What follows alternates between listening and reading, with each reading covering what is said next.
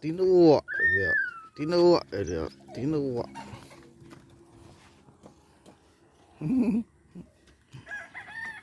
có một tí nữa đi tổ đây